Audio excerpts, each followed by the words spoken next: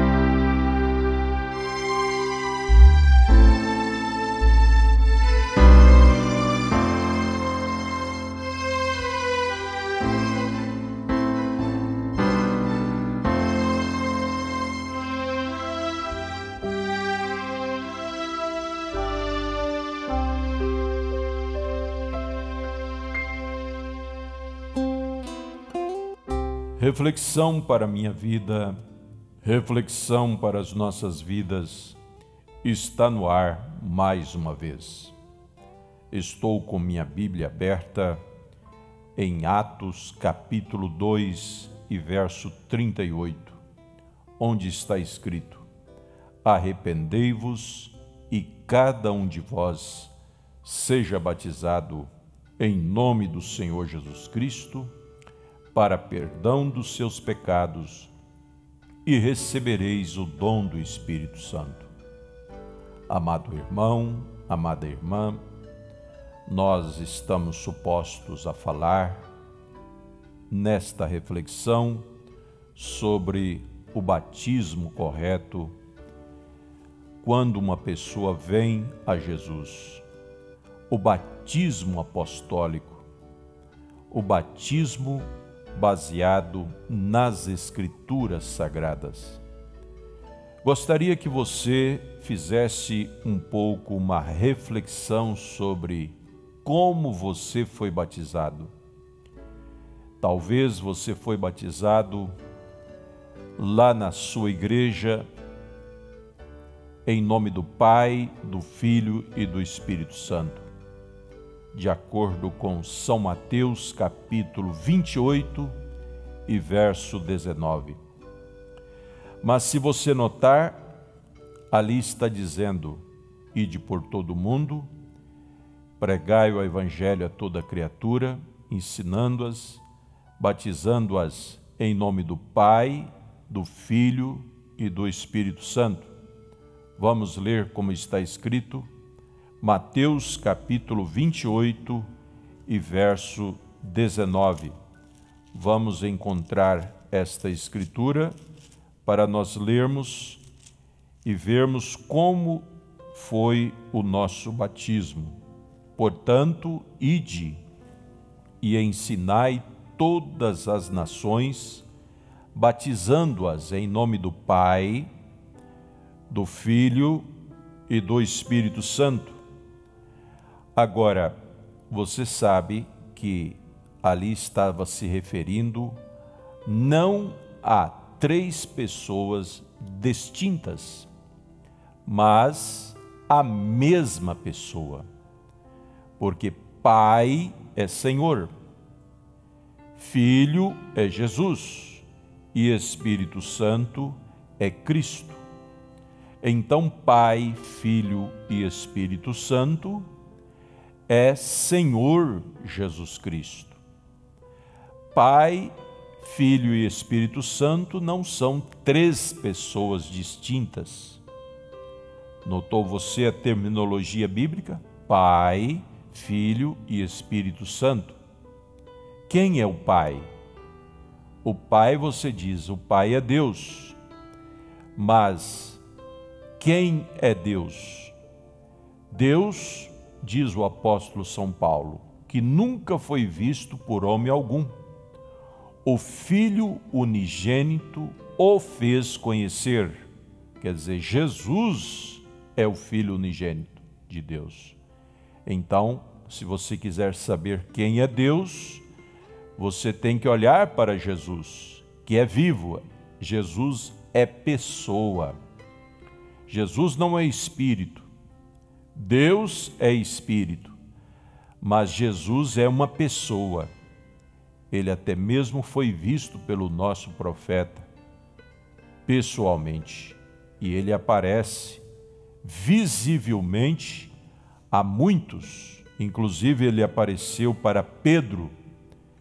Ele apareceu para Pedro em São João, lá no livro de São João, finalzinho do livro de São João, nós encontramos Jesus depois de ressurreto aparecer para Pedro e dizer: Apacente as minhas ovelhas.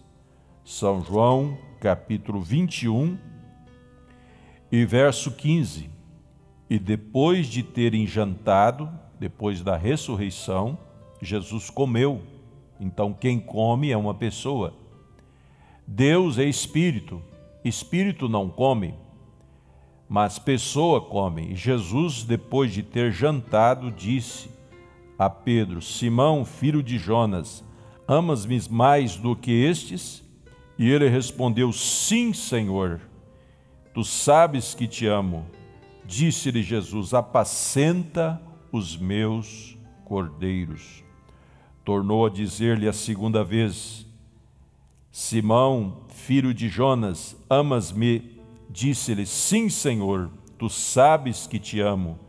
Disse-lhe: Apacenta as minhas ovelhas. Disse-lhe terceira vez: Simão, filho de Jonas, amas-me? Simão entristeceu-se por lhe dito a terceira vez: Amas-me? E disse-lhes o Senhor: Tu sabes, tu sabes que te amo.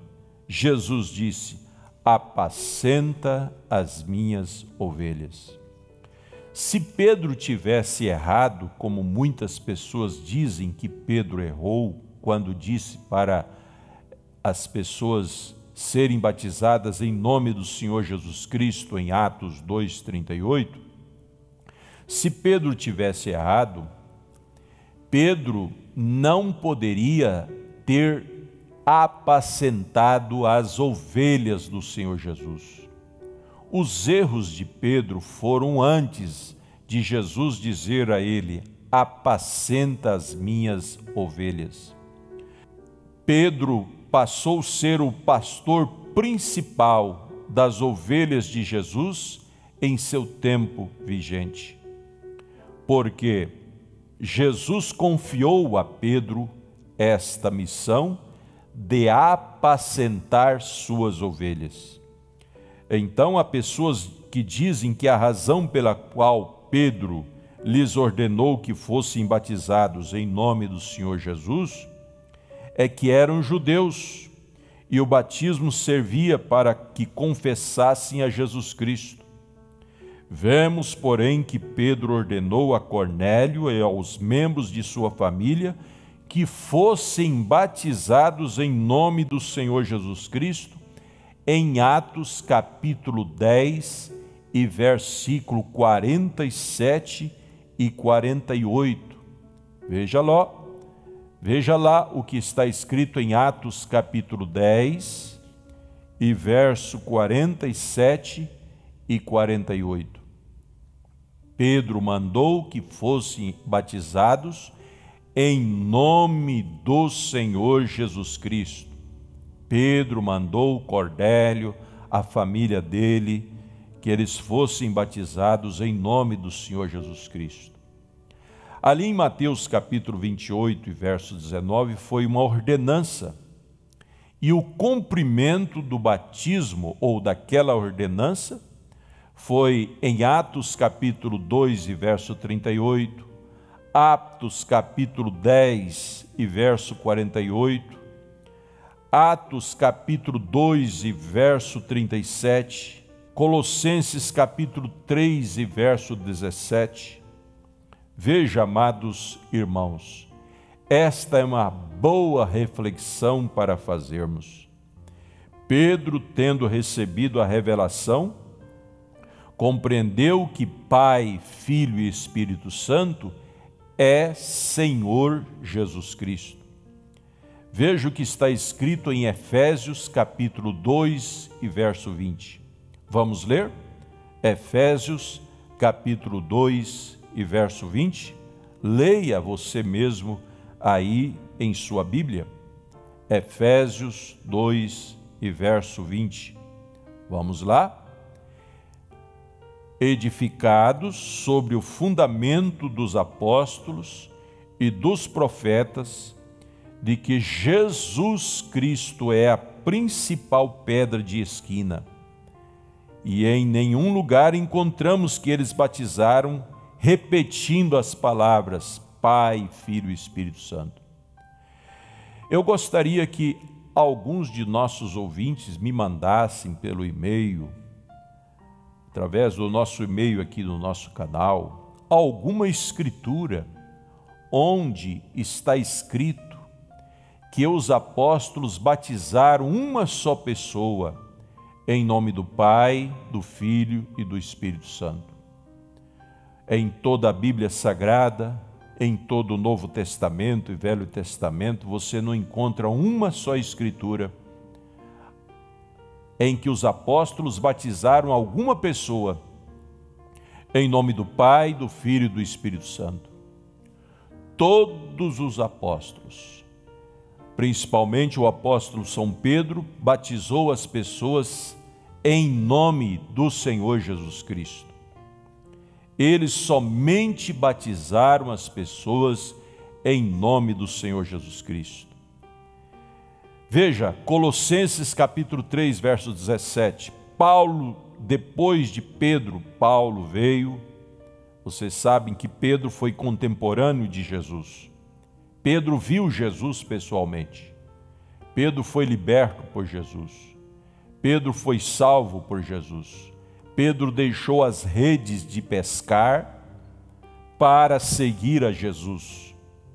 Paulo já veio depois, 60 anos aproximadamente, o ministério de, de Paulo entrou em seu ápice. Ele foi um perseguidor daqueles que seguiam a Jesus. Paulo nunca viu Jesus pessoalmente. Paulo só o viu como um abortivo, como está escrito em, em Coríntios. Mas Pedro viu Jesus, Pedro andou com Jesus. E veja, Paulo diz em Colossenses 3,17: E quando fizerdes por palavras e por obras, fazei tudo em nome do Senhor Jesus Cristo. Então, batismo é obra e batismo é palavra. Batismo é uma obra que você tem que fazer ao vir a Jesus. E batismo é feito com palavras. Paulo diz: tudo que fizerdes, por palavras ou por obras, fazei em nome do Senhor Jesus. Amado irmão, amada irmã, amado ouvinte, você já notou que ninguém expulsa Satanás em nome do Pai, do Filho e do Espírito Santo? Satanás não respeita a Trindade. Satanás não respeita Pai, Filho e Espírito Santo mas os pregadores usam o nome de Jesus para expulsar Satanás. Porque é a palavra e o nome que faz o inimigo afugentar de nós. E o nome de Jesus é usado por todos para expulsar Satanás e para muitas outras coisas, menos para batizar em nome de Jesus. Então você veja que se você não foi batizado em nome do Senhor Jesus Cristo, e sim foi batizado em nome do Pai, do Filho e do Espírito Santo, você foi batizado em nome da Trindade. E a Trindade não se encontra em nenhum lugar da Bíblia. Você não encontra a Trindade em nenhum lugar na Bíblia Sagrada. Você encontra somente unidade Paulo fala sobre a unidade do corpo em Efésios. Paulo fala sobre a unidade de Deus a unidade entre Deus e o homem, quando ele diz que Deus reconciliou o mundo consigo mesmo. Paulo reclamou ter autoridade divina. Se alguém cuida ser profeta ou espiritual, reconheça que as coisas que vos escrevo são mandamentos do Senhor. Vamos ler isso na Bíblia? 1 Coríntios 14, 37. Vamos ver aí na sua própria Bíblia, vai aparecer na tela e você pode ler se você não quiser ler em sua própria Bíblia. 1 Coríntios 14, 37. Paulo diz: se alguém, veja bem, se alguém cuida ser profeta ou espiritual, reconheça que as coisas que vos escrevo são mandamentos do Senhor. E o livro de Atos foi escrito estritamente pelos apóstolos, falando, mostrando, retratando as obras de Paulo.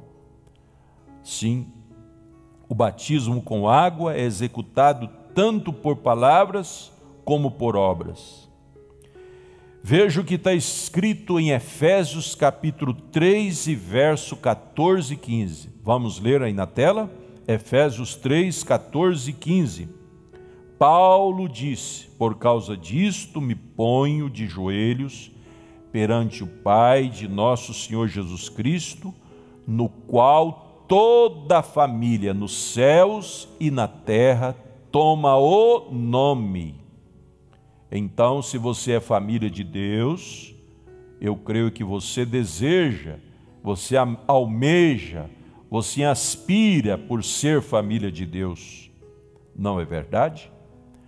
E Paulo está dizendo aqui em Efésios 3, 14 e 15: Por causa disto, ponho-me de joelhos perante o Pai de nosso Senhor Jesus Cristo, no qual toda a família nos céus e na terra toma o nome. Que nome é esse? o nome do Senhor Jesus Cristo. Toda a família toma esse nome, então você carece de tomar esse nome. Não o nome de uma trindade, Pai, Filho Espírito Santo, três deuses. Não existe três deuses, existe somente um Deus. Lá em Deuteronômio foi proferido a lei para Moisés, nos dez mandamentos lá de Êxodo: somente ao Senhor teu Deus adorarás não a Deus Pai, Deus Filho, Deus Espírito Santo. Somente ao único Senhor Deus adorarás. Senhor hoje, o Senhor hoje é Jesus Cristo. Naquele tempo o Senhor era o eu sou, o eu sou, mas agora é o Senhor, o eu sou no tempo de Moisés, no Velho Testamento, hoje é o eu sou Senhor Jesus Cristo. Eu sou, me enviou a vós, disse ele. Então, você veja é, o que está escrito em São João 5,42. Veja lá, São João 5, verso 42 e 43. Diz assim: Eu vim em nome do meu Pai eu vim em nome do meu Pai. E qual é o nome do filho? A resposta é dado por um anjo em São Mateus 1, 21. Veja lá o que está escrito em São Mateus, capítulo 1 e verso 21. E qual é o nome do Pai? Jesus dá a resposta em São João, capítulo 5 e verso 43. São João 5 e verso 43. Eu vim em nome do meu Pai. Jesus veio em nome do Pai. Quem era o Pai? O Pai era Deus, mas Deus é o que? Deus em espírito, e importa que os seus adoradores o adorem em espírito em verdade. Vamos para São Mateus capítulo 1, verso 21. O que está escrito em São Mateus 1, 21. E chamará o seu nome Jesus Olha, ali está escrito que o seu nome seria Deus conosco, Pai da eternidade, Príncipe da paz. Veja, e chamará o seu nome Jesus. E em qual nome o Espírito Santo é revelado? A resposta é encontrada em São João 14, 26. Veja o que está escrito em São João 14, 26. Veja aí. Mas aquele consolador, o Espírito Santo que o Pai enviará em meu nome, esse vos ensinará todas as coisas. Veja o que está escrito agora em São Lucas 24 e verso 47. Veja aí, na sua própria Bíblia e vai aparecer na tela também. São Lucas 24 e verso 47. Falando sobre o batismo, está escrito assim: que em seu nome se pregasse o arrependimento e a remissão dos pecados, que é o batismo, o batismo é para a remissão de pecados, e em todas as nações, começando por Jerusalém. Então, deveria começar por Jerusalém o batismo em nome de Jesus Cristo e depois se estender por todas as nações. Isso tem chegado aqui no Brasil, isso tem chegado em todas as outras nações. O batismo correto em nome do Senhor Jesus Cristo. Agora, você pode dizer, Pedro errou. Se Pedro tivesse errado, Mateus estaria ali para consertar o erro de Pedro. Porque quando Pedro, lá em Atos 2,38, disse, leia aí, vai aparecer na sua tela, Atos 2, verso 38, quando ele disse: Arrependei-vos e cada um de vós seja batizado em nome do Senhor Jesus Cristo, para perdão dos seus pecados, e recebereis o dom do Espírito Santo. Mateus estava ali junto, ali estavam os doze apóstolos, e Pedro e Mateus era um dos doze. Se Pedro tivesse errado, Mateus estava ali para consertar. Mas Mateus não viu erro algum em Pedro, quando ele disse em São Mateus 28, verso 19: E batizando-as em nome do Pai, do Filho e do Espírito Santo. Mateus sabia que Pai era Senhor, Filho era Jesus, Espírito Santo era Cristo. Mateus sabia que Pai, Filho e Espírito Santo, era e é até hoje Senhor Jesus Cristo. Espero que esta reflexão tenha lhe esclarecido um pouco, meu ouvinte amado, meu irmão amado. Por que, que a igreja nossa batiza em nome do Senhor Jesus Cristo? Por que, que nós batizamos as pessoas não em nome do Pai, do Filho e do Espírito Santo, mas sim em nome do Senhor Jesus Cristo? porque Pai é Senhor, Filho Jesus, Espírito Santo é Cristo. Então, Senhor Jesus Cristo é o Pai, é o Filho e é o Espírito Santo. Ele é o Pai, ele é o Filho e ele é o Espírito Santo. Paulo diz que nele, nele habita corporalmente toda a plenitude da divindade. Não podemos pensar em divindade sem pensar no Senhor Jesus Cristo. E se você segue a divindade, você deve batizar em nome da divindade. E qual é o nome da divindade nossa? Senhor Jesus Cristo. Vamos falar sobre isso em outras reflexões. Que Deus te abençoe te guarde e te abra o entendimento para compreender as Escrituras nesse tempo presente, em nome do Senhor Jesus Cristo. Amém.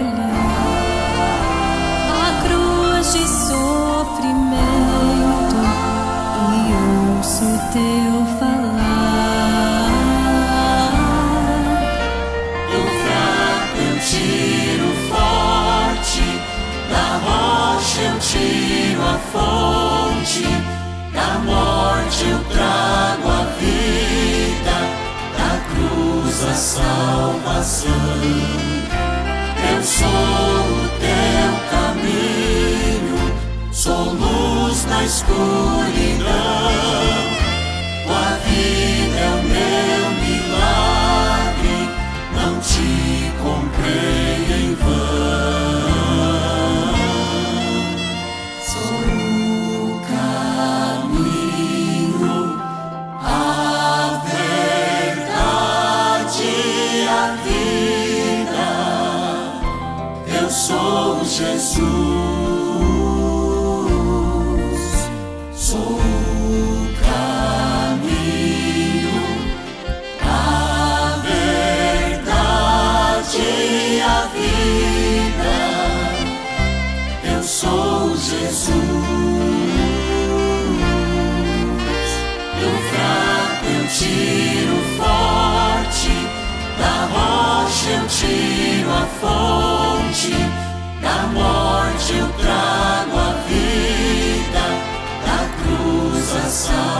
Eu sou